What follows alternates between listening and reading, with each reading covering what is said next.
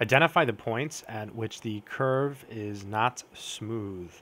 Let's go ahead and work this out. So what does it mean for a curve to be smooth in this context?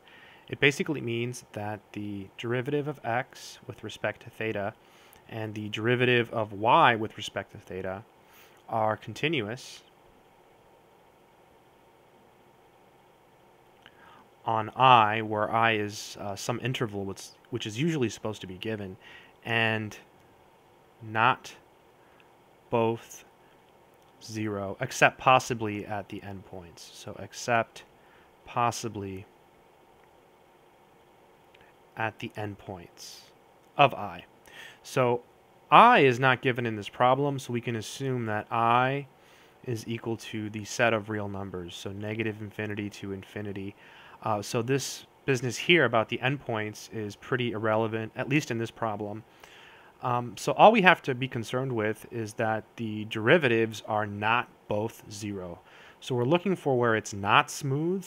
So what we'll do is we'll take the derivatives and we'll set them both equal to zero and we'll solve both of those equations. So before we take the derivatives, let's distribute this 2 here. So we get 2 theta minus 2 sine theta. And here we get 2 minus 2 cosine theta. Now let's go ahead and take the derivative. So dx d theta, that's going to be 2 minus 2 cosine theta because the derivative of sine is cosine.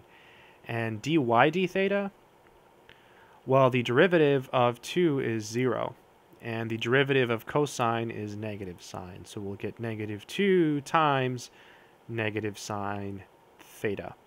So this is 2 sine theta. Okay, again, what does it mean to be smooth?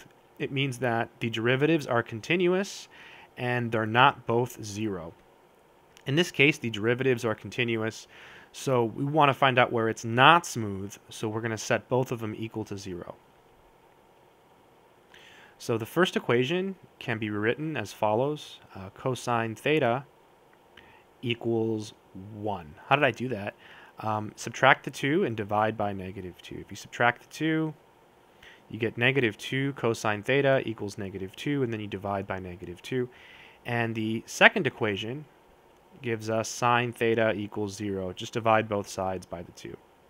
So we want to find out when this is true. When is cosine theta equal to 1 and sine theta equal to 0?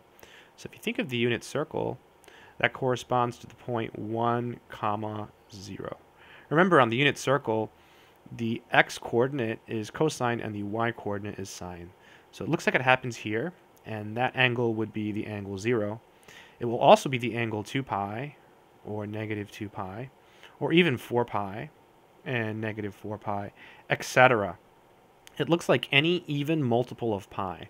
So x equals 2k pi will satisfy that. And here, k is an integer.